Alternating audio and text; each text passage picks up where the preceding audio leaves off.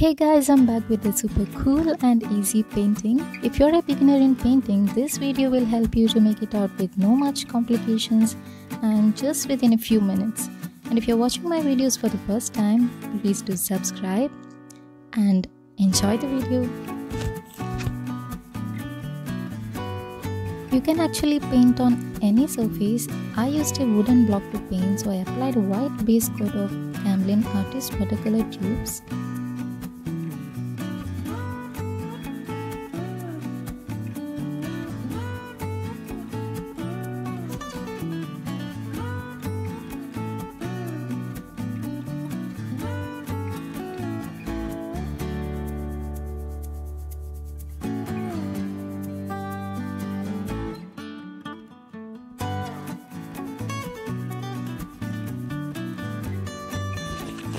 Here try to create a transition from dark to light and just do the same.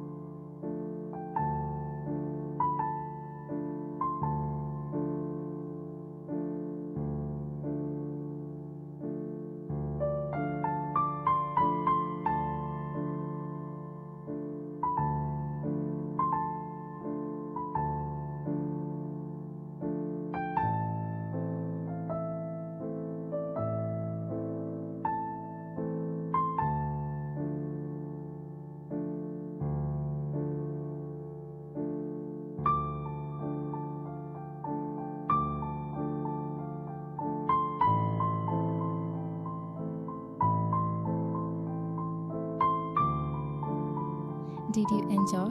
If yes, press the like button, share them, try them, and thank you for watching. See you soon in my next video.